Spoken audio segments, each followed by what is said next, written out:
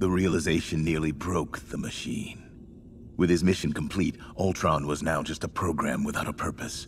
The victor without a war, sentenced to spend all of eternity alone. Who...